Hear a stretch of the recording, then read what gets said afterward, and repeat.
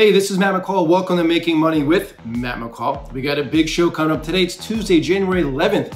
The market's been a bit crazy. Well, let's call a spade a spade. It's been pretty damn ugly so far in 2022.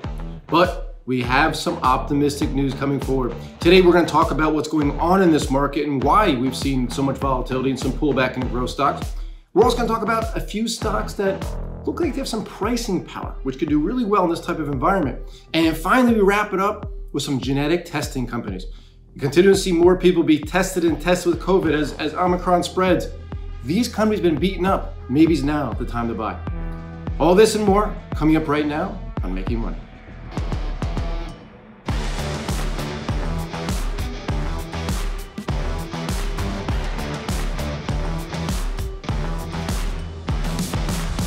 Again, this is Matt McCall. Thanks for joining me. It is January 11th, 2022. It is a Tuesday.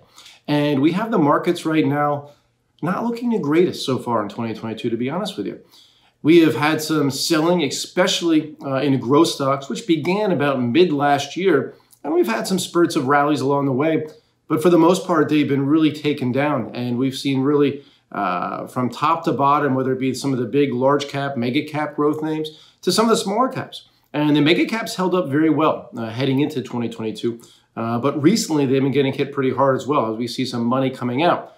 And we're going to talk about that today. Uh, we're going to talk about three trends that Goldman Sachs says is going to continue to be really big trends uh, in 2022. My thoughts on them, I don't agree with everything they say. And then a couple stocks that they put forward as having uh, pricing power.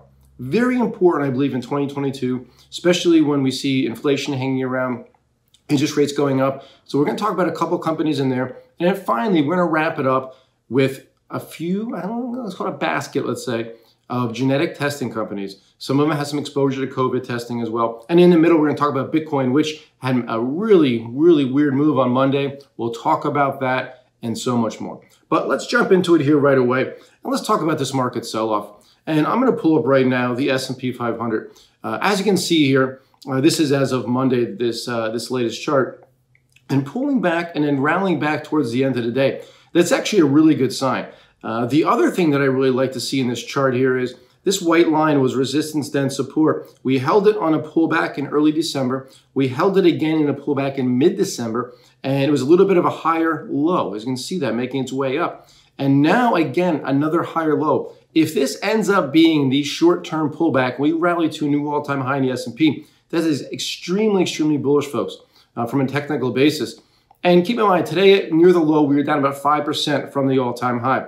You know, that doesn't sound like a lot, but it is because a lot of stocks have been getting hit really hard. The other thing to remember is this happened in a matter of one week. One week ago, we're at an all-time high in the S&P 500. What I've noticed over the last several years, almost the last decade, is when we have pullbacks of 5 to 10% or even corrections between 10 and 20%, they happen so quickly because of the uh, connectivity that we have these days, the computing power, the algorithms that are running the major money out there, uh, individual investors having access to trade on their phones and get out of stocks and into stocks as quickly as possible, uh, news flow coming out that everybody has access to what's going on real time through social media. This leads to very quick pullbacks. On the flip side, this leads to very quick rebounds. And that's why we've seen over the last decade or so, most bear markets, most corrections have been much shorter because they snap back much faster, much shorter than we have seen uh, in prior years. And my prior years, look, see, look back on 70, 80 years, typically they're a lot longer, the pullbacks. They're not because we live in a day and age where things aren't the same. You're not calling your broker on the phone to put in a trade. You're not going to the local Charles Schwab and knocking on a door to put in a trade. You're doing yourself within multi, within within you know nanoseconds. So we live in a different world. So when I say the numbers are a bit different, and you know, psychology is still the same.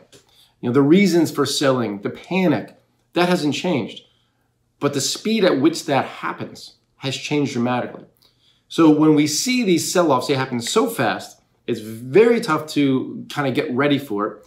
And then what happens is a week into it, people are panic selling this morning, or sorry, uh, panic selling Monday morning, and that's what happens. You get swung out near the short-term low. Next thing you know, you're chasing your tail at a high. If you would have held on, it'd be much better. Because again, as quickly as they come down, they go up just as fast. All right, so that's the S&P 500. I also want to pull up here and, and to give you a look at the um, Qs, the QQQ, which tracks the NASDAQ 100. Again, bounced off the lows on Monday, but you can see it hit a new multi-month low. Uh, but we did hold above this blue line here, which is a 200-day moving average, and that's important. I want to flip over right now to the NASDAQ composite. You know, there is a difference, folks, between the NASDAQ and the NASDAQ 100. The NASDAQ 100 is the 100 largest uh, stocks in the NASDAQ index, non-financials. The Nasdaq Composite is made up of thousands of stocks. So it's, it's, it's much broader, if you will. So you can see here in the chart that it did break this blue line, which is the 200-day moving average. And again, uh, if we if I were to go back, and I could zoom out here a bit for you, uh, we have not broken, a, sorry, a little too far. We have not broken a 200-day moving average since really, uh, or we haven't been below it since the pandemic. When the pandemic hit, we broke it and we rallied right back quickly above it. What I do like about the action here this week so far is again, we traded below that level and then rallied back. In the Japanese candlestick charts, that is called a tail. And that tail typically, if it's on support, and this part's called the head, it looks almost like a some type of little animal, right? If it goes and breaks support, but doesn't close below there, it leaves that tail, that is typically extremely bullish if there's follow through for a couple days. So the rest of the week's going to be pretty important as we start having uh, earnings come out too uh, later this week. Uh, some of the big financials will start reporting earnings. So that's something to keep in mind as well. So there's going to be a lot of volatility in the next couple days, and then we have earnings season for next couple weeks. But again, we, we will keep an eye on these charts for you because I feel it's extremely important that we watch this because when it comes down to it, I, I kind of cut my teeth in this in this industry reading charts over 20 years ago. I wrote a book about uh, how to use charts uh, to swing trade called the Swing Trader's Bible, which I wrote back in, I co-authored it in 08, I think it was. So uh, 12 years ago now, 14 years ago, I should say. But there's two other charts I want to show you before we move on to some exciting stuff, and I think this is really important. The first one here is the IWM. This is the iShares Russell 2000 Index. It's a small mid-cap index of 2,000 stocks. And as you can see here, I'll zoom out a little bit for you, but the, the, I drew these lines. I drew these a while ago. I used it in the show past couple times. And you can see here, it's been in this range, a very narrow range. It tried to break out in early November and it failed. It then pulled back, but our support line is this white line here. Again, the tail came very close to that uh, just uh, uh, this week, but we held it. And again, we're, we're, right on support. So that's typically a very good sign as well uh, when it comes to uh, charts and that we have several indexes that are all sitting on the support level and holding it, and even more importantly. The last one, unfortunately, is not holding its support, and this is ARKK. This is the ARK Innovation ETF. I've talked about this a lot. This kind of tracks a lot of what we invest. And you can see here, this is volume. Look at a huge volume coming out of this. And again, leaving a bit of a tail on Monday. And I look at this a few different ways. Um, one, I don't catch a falling knife. We've uh, we were down five days heading into Tuesday, five straight days. And I, I always have to be very careful not to try and pick a bottom, right? So I don't. I'd rather bounce a little bit and play off that. That being said, these four down days here, hitting 52 week lows, combined with this big volume, feels like what is referred to in the market as capitulation, meaning people are saying, I'm done. I'm throwing in the towel. And when that happens, typically it's either at or near a short term or long term bottom. And I've got to tell you, people have been in this ETF, you know, this now at the low on Monday, was down about 49%, almost lost half its value. All six of Cathie Wood's ARK uh, actively traded ETFs on Monday hit 52 week lows. So when we get to those levels, there's a point where people just can't stomach anymore. They're literally stick, sick to the stomach and they throw in the towel. It's capitulation. I feel like we are in the midst of that right now. I can't confirm that until later in the week. And again, that's okay. I'll, I'll pay up a little for it. It's at $83, give or change. If I pay 90 and I think it's going to 125, it's okay. Because I'd rather not buy at 83 on its way down to 60. So again, I, I, will keep you guys up to date on Thursday's show how things have been moving along uh, with the ARK innovation and of course the market in, in general, but uh, it's something I will uh, keep you up to date on. Now I want to switch over to Goldman Sachs, who eh, I don't want to say a love-hate, but you know, nothing against them, but sometimes they put out some garbage. Uh, but they have a uh, put out a report uh, Monday. It was um, three investing trends that they believed would continue in 2022. So I took a look at these three and I thought it'd be kind of fun to talk about them and you can kind of get my view on, on how I feel about them. The first one was that uh, growth is still threatened by COVID. Obviously, Omicron is still spreading. Uh, I'm down here in Florida right now. I feel like you wouldn't even know there was a pandemic going on down here. I mean, you don't have to wear a mask anywhere. It's it's it's very unique. Coming from the Northeast, it, it's it seems kind of weird. I almost feel like I'm in Nicaragua, where they you don't have to wear a mask either. Uh, very very interesting down here. But Goldman believes that the GDP in 2022 will be hit because of Omicron. Still some slowdowns, some shutdowns. Uh, their initial forecast was for GDP growth, and that's a gross domestic product. That's the growth of the country from 4.2% this year in 2022. They downgraded to 3.5%.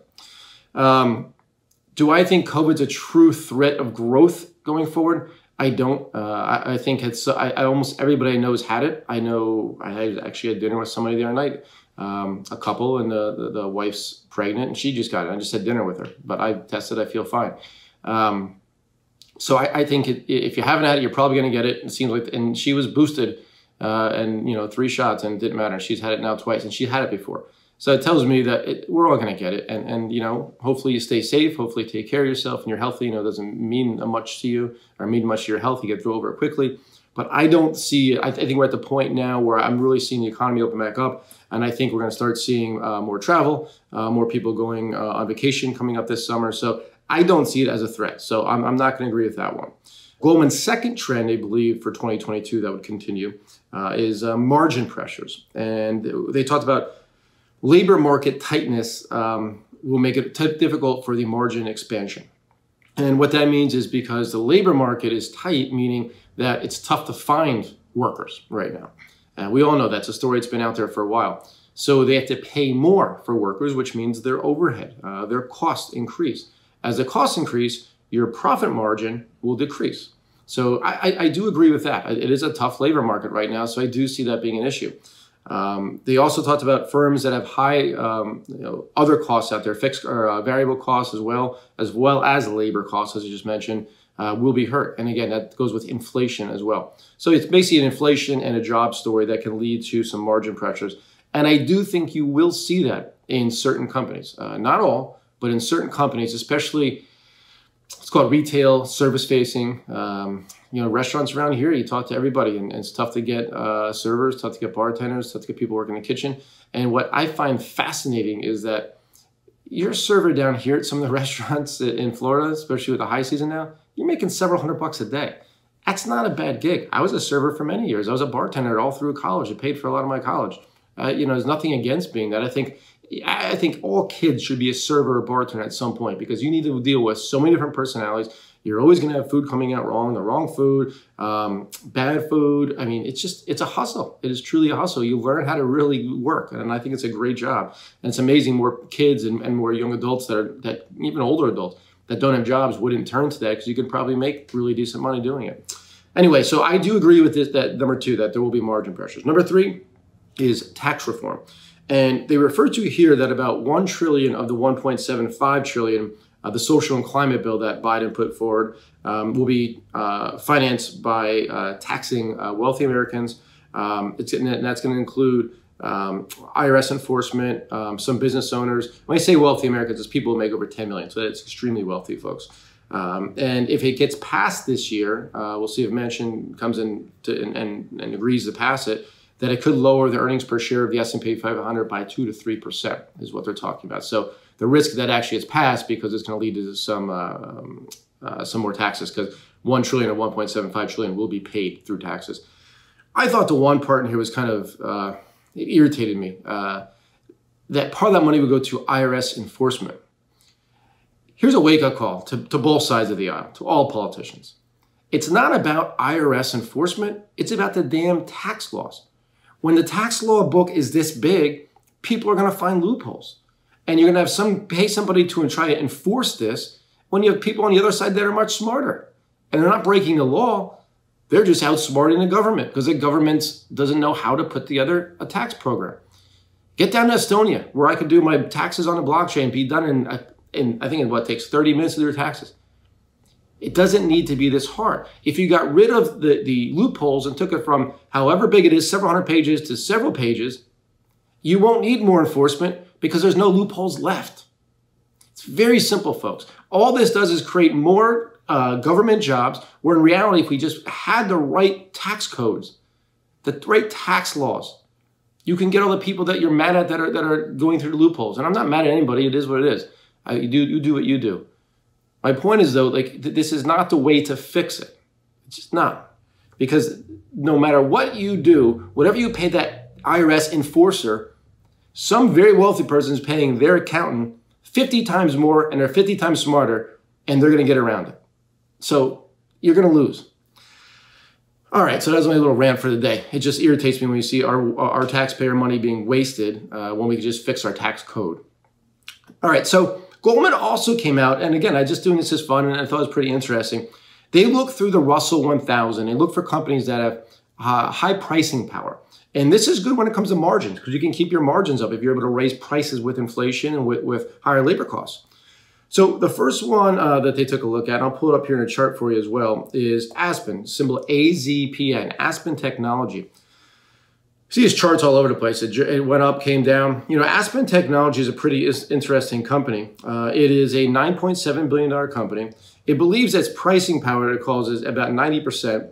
Um, software is used in plants and industrial sector. So that's pretty fascinating because the industrial sector is being more um, uh, digitized and, and technology is coming into it, which means they'll be using more software. So that's really a trend that I believe in.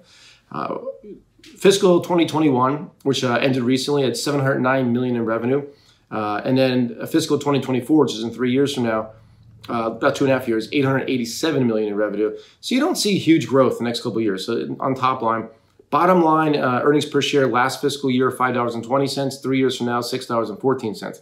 Again, not huge growth, less than 20% growth uh, in earnings per share over a three year period. Uh, so it's not something, again, uh, that jumps out at me. We could take a look at it here again. Uh, it doesn't jump out at me, but it is one that uh, maybe you look at. It's in the right trends and right sector. I just don't like the valuations right here. The next one we'll take a look at is uh, Dolby Laboratories, symbol DLB. You may be familiar with this. It's, a, it's, a, it's an audio company, and you've probably seen you know Dolby Sound. It's all over the place. You go to movie theaters, you name it. About three quarters of its revenue comes from licensing out its audio technology to um, electronics manufacturers. So that's a great business right there. Uh, it's about a uh, 9.2 billion dollar company. Revenue last fiscal year just ended 1.28 billion. Fiscal year 2024 again, about three years from now, 1.6 billion. So you're not seeing big growth. Uh, earnings per share, 366 a share last fiscal year. Three years later, 485. So a little better there, but again, it's just it's not a, it doesn't jump out at me as a huge growth uh, company. Valuation is a little bit better than Aspen. Uh, it does have a bit of a very niche business, so I think you continue to see it grow. It could be a nice slow mover over the next five to ten years. Uh, I just don't see it being a huge one, but again, it has pricing power, so it could outperform this year if inflation stays high. Uh, the next one is uh, what they call a electronic design automation firm, an EDA. And came name of the company is uh, uh, Cadence uh, Design, symbol CDNS. And you can see here, the chart on this is pretty fantastic compared to some of the others. And I'll even zoom out here a little bit before you look at our weekly chart. You can see, I mean, this, this baby's been going straight up. And look at this uptrend line. I mean, right here almost looks like a great buying opportunity in the pullback that we've had in uh, Cadence Design Systems from above above 190 to the low 160. So it pulled back over 20% in a matter of two and a half weeks. And uh, very oversold. The RSI, which uh, is a relative strength index, which is an overbought, oversold oscillator, it's down here. And that up there is 100, down here is zero. It's at 1.77. So it's about as oversold as it can come. Still above uh, long-term support trend line, above the 200-day moving average, above support here around 150. It doesn't look too bad, folks. I got to tell you, I don't have any exposure to any of these stocks. Another thing's a buy or sell recommendation. Uh, but again, uh, just put out there. It's a bigger company. It's nearly $45 billion. And um, they primarily worked with semiconductor companies for, for most of their years. But now, as technology continues to open up into a lot of my trends, including uh, Internet of Things, cloud computing, artificial intelligence, autonomous vehicles, they're spreading their wings. So I really do like this company. Um, 2020 last year they had revenue of 2.5 billion looking for 3.5 billion in 2024 so again not big growth on the on, on top line. Bottom line 280 a share they made last year. 2024 and three years from now looking for about 396 let's call it four dollars a share. So much better growth there on the top line sorry on the bottom line. And so you know you can make a case for this to be much higher in the next five to ten years as it moves. Uh, but again, just want to throw on, on a list there. And number one was software, number three was software, and number four, believe it or not, is software as well. And you, I'm sure you've heard of this. Uh, this is a, a big company. We've all used it or use it on a daily basis. It's Adobe Systems. So ADBE, it's a, you know, they kind of changed up their business model years ago and went to a subscription model, and it was fantastic for the company, one of the big software winners. I mean, so big that it's now a $238 billion company, folks. So Adobe, we all know what it does. You know, it's, it's a subscription model uh, for design, all types of stuff. Um, you know, whether it be Photoshop or uh, all the designers that they have. They had revenue uh, last fiscal year just ended 15.78 billion. In the next three years, looking to go to 23 billion. So that's some pretty darn nice growth for a company that size. Um, earnings per share of 1258 last fiscal year, uh, looking for 1870 in fiscal year 2024, which is about two and a half years from now. So again, pretty darn good, all things considered. So it, it's not, not, none of these software stocks jump out because their valuations are cheap. Um, but what you look is you look at Adobe being at an all-time high near $700 in November, and then pulling back on Monday, hitting 500. So pull back 200 bucks in about six weeks. And you know, at 700 when it's breaking to a new all-time high, it's about to hit $700. If I said you, listen, I'll sell it to you at 500 bucks, you'd say, heck yeah. So now I pull back. I'm not saying it stops here at 500. It could go lower, but I'm just saying you have to kind of take a step back and think of things sometimes relatively, not just where they are today. And the last one we're going to take a look at um, is a CoStar Group, uh, symbol CSGP. This had a nice breakout in October, ran to a new all-time high. Uh, it was above $100, uh, as you can see here, for the first time ever. Broke big consolidation over a year, and then uh, has gotten hit over the last uh, couple months here. Now down, hit 70 below $70 on Monday, so over 30% on the downside uh, in a matter of about a little less than three, about three months.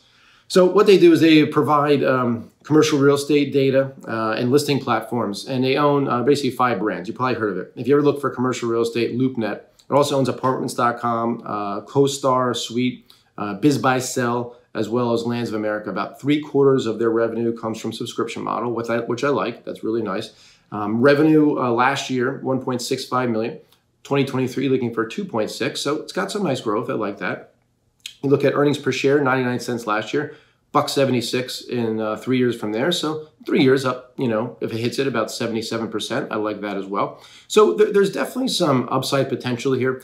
Uh, the one risk is if real estate, especially commercial real estate, suddenly slows down, uh, we have some type of bubble, interest rates go much higher. Uh, when we see people stop buying commercial real estate, uh, I'm looking for commercial real estate right now in the South Florida area. It's very difficult. I mean, anything good's gone. We, we looked all weekend and couldn't find much. Also looking for a house down here. No inventory down here at all. Um, so just, yeah, I, there is still big upside in it, but um, there's a huge risk of the real estate market, which I don't know if I'm willing to take that risk. All right, I want to talk about Bitcoin real quick. I got a chart here show, to show you, and I think it's it's important to take a look at this. And um, right now, you can see here, this is a chart of Bitcoin we're looking at.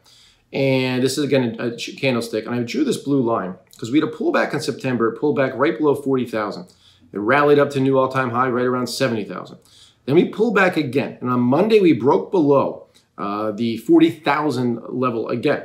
And we bounced off it. I mean, look at how it was the exact same price nearly as that intraday low back in September. Now, if I zoom out a little bit more, folks, what I really like about this, and again, charts aren't perfect, but as you can see, we had a lot of resistance, resistance, resistance, finally broke through, retest it, retest it, and rallied. Resistance turns into support. So that just proves how important that 40,000 uh, level is on Bitcoin. So if we can keep an eye on that 40,000 level, and if we can hold above there, right here at 40,000 level, I think uh, we are setting up for a pretty darn nice big rally from here. And I think, you know, up to even the low 50s. And from there, it's about a 25% move. So something to keep an eye on. I definitely wouldn't be selling here. Uh, I wouldn't be selling either way. I, you know, I'm a buy and hold. I'm looking for uh, six digits, looking for 100 grand. I'm not selling until then. And I have a bunch of altcoins too. You all know that. Uh, but but what I, what I want to press here is if for some reason you need to get out, you want to sell, definitely don't sell when you're sitting above support because your downside risk from here is not that low or not that much with your upside potential to the next resistance level around 52,000 is, is big. So you say 2,000 on a downside, let's call it 11,000 the upside, 11 and 2. So it's a uh, five and a half to one. That's a pretty good uh, setup for you. So keep that in mind. I just want to cover that a little bit here for you. And then last, I'm going to wrap up with a couple stocks here, four stocks that are in healthcare testing. Um, the testing, genetic testing uh, more uh, specifically, these stocks have been crushed. So the first one we're going to take a look at, and this is a stock that a lot of people know because I recommended it a few years ago before COVID. So it was one of my huge winners in the last couple years for my subscribers in my old publication, and that's Effulgent Technologies, symbol FLGT. And uh, it was a very tiny company recommended it. Now, you know, after the pullback, you see it topped out there in February and it's pulled back. Uh, but Fulgent is about a $2.5 billion company right now. They do genetic testing as well as COVID testing, and that's why they, they've had a huge run up.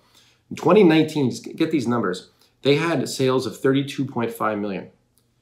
In 2020, because of COVID, 421.7 million. So that's about, I mean, almost 15x in one year. 2021, which is, which is wrapped up and will be coming out with earnings soon, estimates for 930 million. From two years prior at 32 to 930.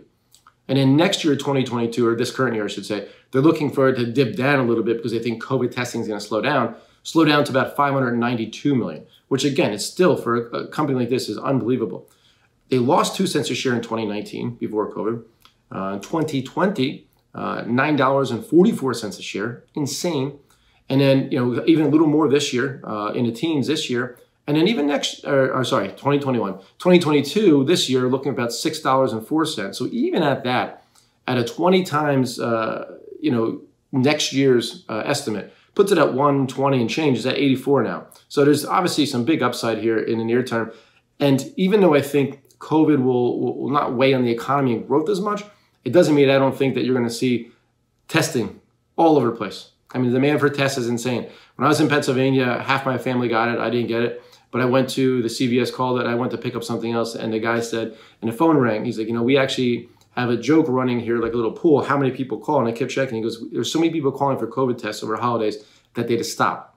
I mean, it's, it's, literally, it's like it comes in and the moment it gets off the truck, it's gone. So that does that's not ending anytime soon. So that that is a company to keep an eye on. And again, I, I liked them before that, so I think there's also some other good um, qualities to the company.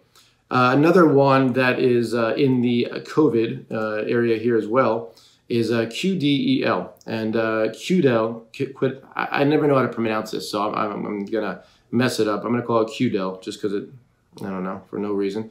But you can see here in this chart, uh, it had a big rally actually in December and fell since then. It, th this company came out, um, it's a $5.3 billion company, does rapid diagnostic tests. Uh, they came out and they said that their they, they came out and uh, pre-announced for fiscal fourth quarter of 2021. Uh, so the fourth quarter. Total revenues in a range of 633 million to 673 million. And for the whole year, uh, they're saying about 1.69 uh, to 1.7 million in sales, which isn't bad considering it's a 5.3 billion billion dollar company. These are billions if I didn't say that.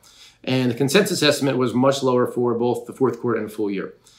Uh, the COVID revenues in the fourth quarter of the 435 middle range, or sorry, 635 million middle range, about 510 from COVID. So majority of is coming from COVID. So you see why the stocks aren't trading at highs because if COVID stops, slows down, and disappears, and testing ends, these companies could see a huge amount of revenue come out. They said in the fourth quarter that their uh, QuickVue COVID-19 antigen tests sold about 65 million. Uh, the Sofia SARS antigen test sold about 4 million. Uh, best quarterly sales volume they've seen for any test uh, for them. And if I look forward, 2019 they had 534 million sales before COVID. 2020 1.66 billion. Uh, this past year again looking for about 1.7 billion. So not much difference between 2021 and 2022. Or sorry, 2021 and 2020. For 2023, looking at skipping this year going to next year, about 734 million. So it'll be cutting about half. So it's tough. And, and you look at earnings per share, uh, last year, $19.92 a share.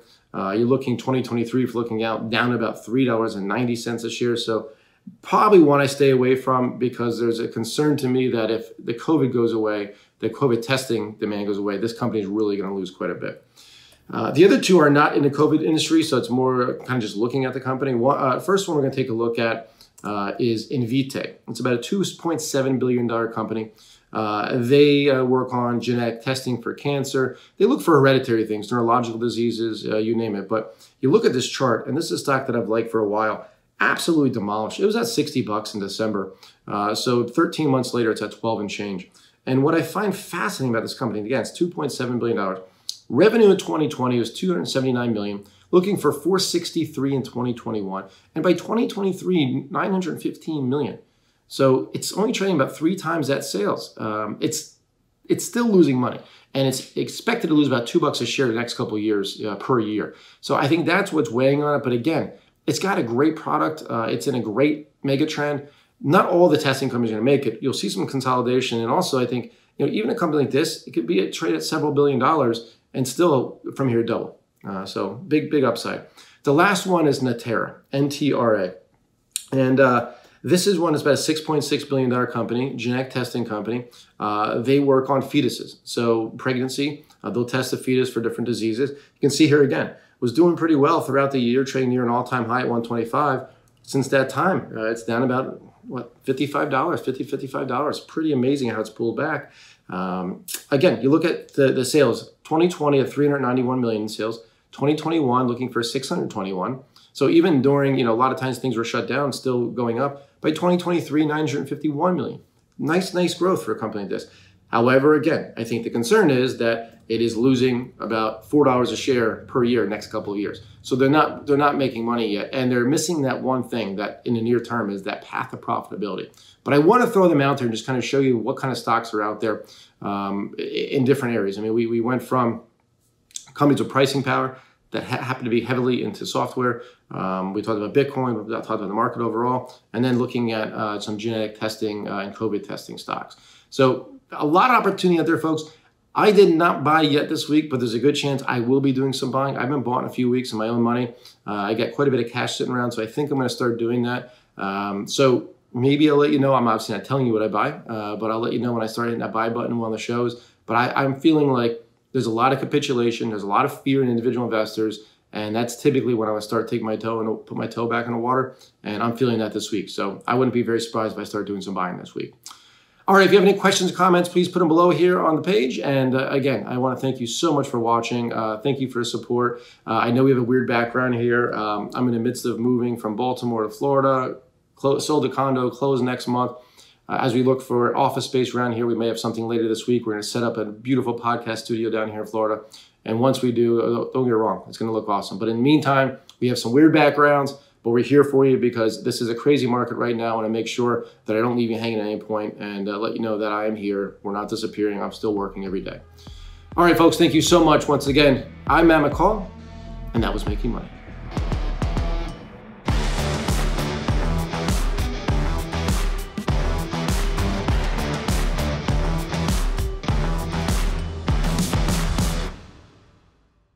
Expressed on this program are solely those of the contributor and do not necessarily reflect the opinions of Stansberry Research, its parent company, or affiliates.